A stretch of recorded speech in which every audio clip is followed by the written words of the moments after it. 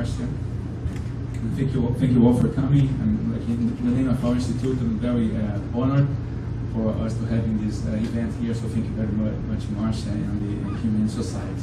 So what I'm going to try to show to you in the next 30 minutes will be uh, what we, we are using the iPS cells and especially the organoids, some uh, new insights about the biology of Zika virus.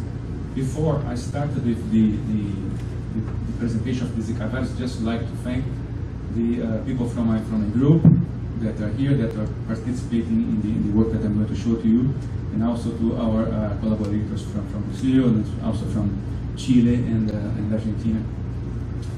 And uh, this is uh, our sponsors, so also very thankful to all of them, for all of the support that I have in the lab from these uh, agencies and funding agencies and, and companies as well. So, uh, and um, Marina Red gave an awesome uh, introduction about the IPS, so I'm going to be very fast about the, the, the, what the kind of work that we're doing here. But we're basically working with IPS cells, and uh, we, besides using the uh, fibroblasts from the skin of uh, human patients, we are also isolating the IPS cells from the uh, urine. It's a very easy and, and interesting technique because we, we can also work with like uh, children and, and elder people using this kind of uh, uh, approach to isolate the uh, epithelial cells from the urine and then make IPS cells from them. So uh, we have uh, different cell lines and we are basically focused on study uh, mental and neurological disorders. So we have a bank here in the institute and we, of course, we are very happy to share some of the cell lines that we have here with other folks interested in the work with the same kind of diseases. I'm just going to do a very brief overview about what we are doing here in the Institute besides the work with the Zika virus. Uh, a few years ago, we, we showed some uh, interesting data regarding uh, schizophrenia using iPS cells. We showed that there is an increase in the levels of reactive oxygen species on those cells, and then that also we are able to revert this uh, increase in the increase in the reactive oxygen species, and also in some uh, elements such as zinc and potassium using the cells, and in this case using valproate. This paper was then acknowledged here. This is a very interesting uh, review from uh, Nissim Bevenisti showing uh, some of our works here in his list of uh, uh, disease modeling using uh, IPS cells. So, and uh, working with the uh, organoids, we also started to organize a few years ago. I mean, after Lancaster started to do that, and then uh, we are also playing with some interesting things. So do some tomography in this in these organoids. It's very interesting what we can see from that. Just a, a very interesting picture. This is like a video, so this is what I'd like to share with you. But uh, basically, what we are showing here is uh, this is another paper in which we show changes in the trace elements depending on the stage of differentiation of these organoids. What's interesting when you think about working with uh, nutrition during uh, early stages of development, this could be useful to know that like you have changes in the levels of these trace elements depending on the stage of differentiation of these brain organoids. And uh, one other thing that we are very interested in the lab is to try to fill uh, the lack of uh, uh, models and also of studies in uh, psychiatry. There is a, a long period without new, without the, the discovery without, of new drugs used in psychiatry. So uh, we decided to start working with uh, what is, has been called the uh, psychedelic renaissance. That's the use of psychedelics as a new approach to deal with psychiatric diseases and depression and other diseases. And then in, in the, the northeast of Brazil, there's a very interesting group in the uh, Federal University of uh, Rio Grande do Norte, in which they are using uh, ayahuasca. That's it's a some kind of a drink that's used in religions in the in, in Brazil, and it is rich in uh, in uh, one compound that's called DMT, dimethyltryptamine. That's associated with it's a psychedelic, but uh, they are showing that like it has a very interesting effect in the in depression. And then we decided to use the, the to, to, to identify the compounds that are present that are present, present in the uh, ayahuasca to see what happens when we add these compounds to iPS cells uh, differentiated as neural cells or also and also in the in the brain organoids. So uh, we, we first showed that like our mind that one of these compounds present in the ayahuasca is able to increase, increase the uh, neurogenesis or to increase the number of nerve stem cells in the, in the, in the model. It's interesting how many people uh, look at, at this paper, almost 300 views, 300,000 views. So it's interesting that people are very uh, interested in the psychedelics. and uh, besides the army, the, the interesting thing is that our mind was usually assumed that it was some kind of, it was an inhibitor of the monoamine oxidase. And the DMT, to reach the brain, you have to be inhibited, I mean, it can't be destroyed by the monoamine oxidase. So this was the main uh, role uh, believed for the Armine. And we show that, like in this case, Armine is blocking the uh, DIRT1A uh, kinase, which is also associated with Alzheimer's disease and other uh, disease of the brain. So it's interesting that this could be, uh, uh, maybe this is why you have this link with depression, because like you know that like depression is associated with a decrease in neurogenesis and like some uh, antidepressant uh, uh, drugs, it's, it's known to increase neurogenesis. So this is maybe another role for the Armine besides uh, blocking the, the, the degradation of DMT before it reaches the brain. But we also work with the uh, DMT. And first we show that like the organoids, the brain organoids, they have the receptors for the DMT. I mean the serotonergic receptors and also the sigma-1 receptor. And then uh, in collaboration with uh, Julian Minardi, who is here, and with Daniel Martins from Unicamp, we, uh, we did uh, uh, proteomics of basically of the uh, all of the proteins that were changed after the, uh, the organoids were exposed to DMT. And uh, we found almost 1,000 proteins that are changed after 24 hours of treatment with DMT. And the majority of them, I won't have time to, to, to talk about it now, but majority of them are associated with learning, plasticity, which is very interesting also when you think about uh, the effects that happen in vivo. So basically, in, here in the institute, we work with uh, human patients and with uh, iPS cells uh, differentiated as neurons or uh, astrocytes and uh, organoids. And now I'm going to present to you the same kind of approach that we used on the previous work that I showed here to deal with the Zika virus. Or in other words, how the iPS cells can help to understand the global health security threat. So uh, for the ones that don't know, uh, Zika virus is a flavivirus that uh, has as a host, the main host is primates, primates, and the vector is the Aedes aegypti, that's a mosquito. It's close to the to other uh, viruses that are also here in Brazil. Fortunately, to the spirit of the year, the, the, the amount of cases is very low, so people don't be so scared. It's much uh, calm now than the, in the summer. So we have the Zika virus that's close to the dengue virus, and it's important for the one of the experiments that I'm going to show to you. So uh, for the ones also that don't know, it started in uh, one forest called Zika in Uganda. This is why the name is Zika virus. And uh, since 1947 until 2007, it was considered like a mild disease, like uh, transmitted by mosquito. One in every five uh, people uh, got sick, get sick. The symptoms like takes from two to seven days. No, no, no treatment, but really no big uh, issue like fever, rash, and some joint pain. Pain. So basically that. But after it arrived in, in, in Brazil and then spread to other countries, uh, and uh, after this uh, uh, last outbreak, all, all we know what happened. This is a, paper that was published recently, including some folks from our institute showing the evolution of the Zika virus and how it spread in the Americas. And uh, we know that like when it arrived in, in Brazil, it was uh, very scary. People don't know exactly what was going on. And uh, here in the, in the, it was associated the Zika virus with the microcephaly, right? So just to show to you the increase in the number of uh, cases of uh, microcephaly happening in Brazil, uh, while are also having the increase in the number of people infected with the Zika virus, right? So we have almost 200,000 cases of Zika in Brazil, 11,000 cases of pregnant women, uh, of uh, pregnant women infected with Zika, and then the, increased number of almost 3,000 cases of microcephaly.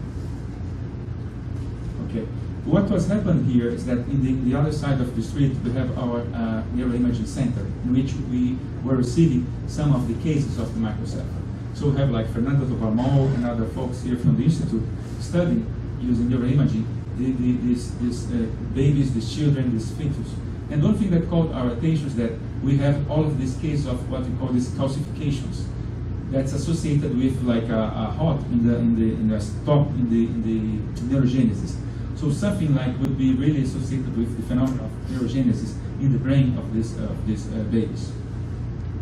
And uh, also working with, in, in, collaboration with uh, Leila Cimeli, uh, we also showed that like you have the, the virus infecting these different parts of the of the human brain tissue. But uh, these papers were published, right? This is the first one. This is the second one. But we still, it was not clear to us uh, how would be the infection, if the how would be the what, what would be the consequence of the infection for the for the uh, human brain tissue. And this is why we decided to work with the, the, the, kind of models that we are running in the lab, including the nerve themselves, the astrocytes, the neurospheres, and also the brain organoids, to try to understand this connection between the infection of the Zika virus and the consequences for the development of the brain. So what I'm going to show to you in the next minutes will be uh, uh the consequence of the Zika infection during neurogenesis and growth of human neurospheres and the brain organoids, and some insights about the molecular mechanisms associated with this infection, and uh, a platform that is developed here in the lab to try to deal and try to try to anticipate some of the consequences and also to do drug screening for uh, some other kinds of uh, malformations that can be observed in the, in the, in the brain caused by other viruses and other, other uh, agents. So, starting with the nerve stem cells, we started this project like in the, I remember very well because Carnival was something very huge in Brazil, and we started it in the uh, Saturday of Carnival of last year. And uh, we got the, the, virus from a, from a colleague that's called Amilcar Tanuri, who's a, uh, uh one professor that's working with uh, Zika and another virus for a long, long time. Then we got the virus with him in Federal University of Rio de Janeiro, and then we infected these nerves themselves with the virus. And the first thing that we saw was that, uh, yes, these uh, cells, these human nerve stem cells derived from iPS cells, they are able to be infected, and uh, here we see in the red the, uh, an antibody that's uh, staining the virus, the Zika virus, and in blue you have the nuclei of the cells. And we show that like these cells, they, they are able to, the nerve stem cell, the, the virus is able to, to replicate inside these nerve stem cells. But uh, since we know that like the, there's something more than just killing the cells, we'd be interested to see what would happen in, the, in terms of the morphology of the like the, these uh, spheroids or of the aggregates, or in, the, in this case, the human nerve stems, the, the neurospheres, and then in the brain organoids. So in the case of the of neurospheres, in A, you're seeing uh, one uh, healthy neurosphere without the Zika, and then in B, when there's neurosphere with the Zika three days or four days after the infection. And then after seven days, basically they will have no more uh, neurospheres there. So this is uh, in the, with the neurospheres forming in the, in the, plate without the virus. This is with the virus. Okay. And then we look in the uh, in the, in, the, inside the cells. In this case here, you're seeing the, the actual the, the, brain of the human brain tissue of a fetus. Okay, and then we compare with what we found in the in the, in the human uh, neurospheres. You basically see the, the same kind of uh, infection and the same kind of uh, information, the morphology of the of the cells and the, and the how the, the virus they, they, they are uh, inside the cell. One of the things that caught our attention, looking to the to the brains, uh, the actual brains of the of the fetus and of the babies, is that besides the calcification, you have changes in the migration that probably associated with the changes in the migration in this in this tissue. And then we decided to go and to look in the in the brain organoids because in that case we have like the interkinetic nuclear migration, we have the formation of the cortical plate and several other aspects of the brain development we can replicate in this kind of model. Just, just to show again, this is another tomography of the one of these brain organoids. Okay, and then we, what we, we did, we got this uh, brain organoid, we infected them with the Zika virus, and then uh, we started to, to uh, follow the growth of these brain organoids for over uh, 11 days. And this is the growth that we see in the, in the uh, control organoids, and this is how they grow in the presence of the Zika virus. So they are not completely destroyed as we saw with the neurospheres, but uh, there is a reduction in the growth after 11 days, let's go between 30 to 40 percent. What's very similar to what we see in the brains of the fetus, depending on the stage, you know, when the, the infection happened. One thing that uh, was uh, on that time it was not clear is that you have the, the, the this is one uh, uh slide showing the Zika outbreak, this is the chikungunya, this is the dengue, and then you see that like, depending on, on, on time, you have like a lot of cases of the dengue together with increasing the cases of, uh, of microcephaly here. So we decided to see if uh, there maybe it was not Zika, maybe it was dengue, or maybe also our model was uh, creating some kind of, uh, of uh, artifact that like if I, could, if I put any kind of virus, you're still going to have the, the, the cell death or the uh, change in the growth of the cells. So, uh, and because of that, we decided to play the, the same kind of approach using the dengue virus. And this is what we found. Basically, the dengue virus is able to infect the cells, but doesn't change the neurospheres, so basically they are not destroyed, and also there's not uh, no, no change in the growth of the uh, organoids, but suggests that like the cause of the of the infection, only the cause of the infection of the Zika virus was these uh, changes in vitro that was not uh, uh, specific, that was not caused by other flood virus, for example. Okay, so we proposed this model in which the nerve stem cells are infected by the Zika virus, they die, they basically disrupt the formation of the neurospheres and they uh, impair the growth of the brain organoids. This paper was published and then was confirmed by other authors, what's of course very important nowadays when we have this uh, challenge of replicating data, right? Uh, okay, but one thing that we're interested is that what would happen with the cells before they die? Okay, we know that like after a few days, these neurospheres will basically completely destroyed. But how they behave immediately after the infection. So we decided to, uh, to do a different approach in which we're going to check what would happen with them without waiting for them to die. Okay? And then we decided to work with uh, human neurospheres, not only because they are fast to grow and uh, to obtain them in this kind of uh, shape, but also because we, we were interested in some kind of model in which we basically have all of the cells destroyed after a few uh, days, which means that like all of the cells, they are going to try to survive or try to change their, their uh, protein expression after the infection. So this helps just to, to, to, show what kind of cells that we have in these nerve spheres. So basically we have uh, nerve stem cells, we have young neurons, we have uh, radioglial cells. And uh, we uh, then decided to see, we, we were looking for one stage in which you have the infection, but the cells are not dying. Uh, so when we, and we found that like in, in three days, between three and six days, the cells, they are still there. There's no really change in morphology, but they are already infected. So let's see what happened with these cells after the infection, but before they, uh, they're dead. To do that, uh, again with uh, Juliana Minardi and Daniel uh, Martins, we decided to uh, do a shotgun proteomics, basically to try to uh, cover all of the changes in, in, in gene expression and in, the, the, the, production of proteins in these uh, organoids after the, the uh, sorry, these neurospheres three days after the, the infection. It's just to, to, to, summarize all of the work in one slide, we described four different programs that were changed after the, the infection. Okay, you have of course proteins associated with the viral replication as, as expected. There is a, a change in the chromosome stability in DNA damage, that would then uh, stop or arrest the cell cycle and of course is going to impair the neurogenic program. So this is the model that we proposed in which like you have uh, increase in, uh, in the uh, production of proteins associated with viral infection and DNA damage. Cell cycle is uh, blocked and then uh, neurodifferentiation is also impaired. And this paper we published more recently and uh, in which we cover these proteins that are changed by the uh, infection. And uh, it's interesting, this paper had a very uh, interesting review in Science Translational Medicine in which they highlight the, how it's important to use this kind of models to study the Zika virus.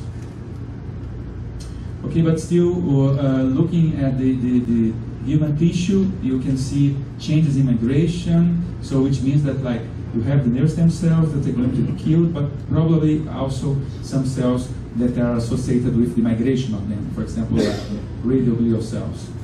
And uh, these radioglial cells are important for the nerve stem cells or, or the cells that exit in the cell cycle to go up and form, for example, the, the cortical plate. So uh, we derived these uh, astrocytes from uh, brain organoids. This is also a recent paper from our group in collaboration with colleagues from the Federal University of Rio de Janeiro. And then we, we show that like these uh, astrocytes, they are very uh, similar to the actual astrocytes that can be uh, removed or taken from, from the brain in special surgeries. You are able to get some of these uh, human astrocytes. And when we compare this, I think I believe that Juliana is going to show more detail about this, this tomorrow. But uh, we see that they are very similar in protein expression and other markers. So with a similar kind of approach, we uh, see that like these Zika virus, they're infected, uh, they're infecting the, these astrocytes. And now we are trying to see how is the, the, the proteomics comparing astrocytes and nerve stem cells and to see if there's uh, different kinds of, uh, of uh, uh, behaves happening in these two different cell types. Okay, so now um, for the last part of my talk, I'm just going to show to you what we are seeing and, and try to use this kind of model to identify leads for Zika virus infection. Okay, one thing that we are looking for here was for drugs that could be uh, uh, that were already like approved by the by, by the Brazilian uh, FDA. That's called Anvisa, and also that can be taken by pregnant women. Okay, and to do that, we use an approach that like basically combine the kind of there is a song that Rodrigo could hear. That's a nice song, but maybe it's too loud.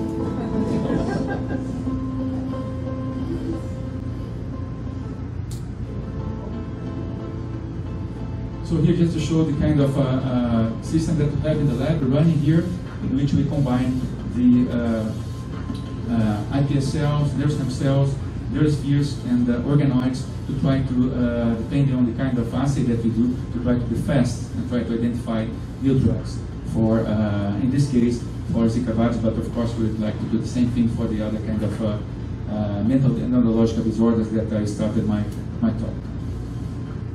And uh, with this kind of approach, we uh, published a paper in collaboration with Amilcar Tanuri in which we showed, for example, that chloroquine can be uh, uh useful as a, a drug for uh, Zika infection. And also, we uh, more recently we showed another paper in which we used so sofosbuvir. This in collaboration with the Fiocruz, with Tiago Souza, Fernando Bosa, Patricia Bosa, and other folks from the Fiocruz in which we're showing that like this is a hepatitis C drug that can be uh, useful to hit the Zika virus replication, and uh, we showed it in the brain organoids as well. So uh, just to, to summarize uh, the presentation, uh, we showed that like uh, collaboration with Leila Chinelli and other colleagues, the spectrum of the neuropathological changes associated with the Zika virus, but so it's not only uh, microcephaly. There is actually a, a, huge spectrum of changes of malformations associated with the infection in vivo in this, uh, in this fetus and the, in the babies. Uh, using the uh, our model uh, of organoids, we show that like it impairs the growth of neurospheres and brain organoids. We basically described the molecular fingerprinting of these human neurospheres after infected with the Zika virus. And uh, using this approach, we are proposing two drugs already approved by the Brazilian FDA that can also can that can be taken and in, in some cases by the uh, by pregnant women. So we, we, anticipate that this could be useful if we have a, an outbreak as we had uh, last year. So just to summarize, we show this evidence of the. Uh. Sometimes it's a bit fast, right? So we show this evidence connecting the congenital Zika virus with the case of malformations in Brazil, combining proteomics and the description of profile analysis. We show that like before cell death, there is DNA damage that alters the cell cycle and uh, interferes with the neurogenesis. And uh, using this kind of model, we were able to screen for uh, new drugs that can be used for uh, pregnant women. And uh, one thing that's very important is that, okay, now we have uh, Zika virus, but like when you see what kind of virus can be uh, can, can, can be hosted by the uh, Aedes aegypti, there's a huge amount of possibilities here. And besides that, we have all of these torches, syndrome infection associated like with the malformation of the brain, that we can actually can uh, work using uh, iPS cells, using uh, 2D cultures and 3D cultures as well. So what we propose here, based on the on the system that you already have running in the here at IDOR, is to is a platform that can be used to anticipate the consequence and also to uh, drug screening for a torch and other virus. And that's something that I believe that's very important and also that shows that like how iPS cells, how organoids can be useful as a, a fast and uh, reasonable approach to try to understand the several uh, diseases and unfortunately new diseases that can also come to, to Brazil and to other parts of the, the world. With that, I, I uh, finish my talk and uh, I'd like to maybe in some interval of the of our meeting to show uh, the lab and to show our facility here and the other side of the, the other the house in front of the of this uh, facility we have the neuroimaging facility with all of these interesting machines as well. Okay, thank you very much.